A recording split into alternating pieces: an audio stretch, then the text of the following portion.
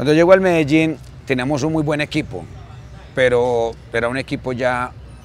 veterano, muy veterano, y el dueño del equipo, el señor Rodrigo Tamayo, le dijo al profesor Jaime Rodríguez que quería el equipo joven, quería hacer un proceso, y de ahí arrancaron, mmm, yo me acuerdo, Héctor Mario Botero, Pipi Uribe, Gamo Estrada, José Luis Pino, Carlos Álvarez, Ale Fernández, eh, Pelusa Pérez, eh, Pelusa Rego llegó después, eh, Oscar Pareja, Danovid Muñoz, Diego Osorio, Carlos Castro, Ferry Zambrano, Jorge Daniel Jara, mm,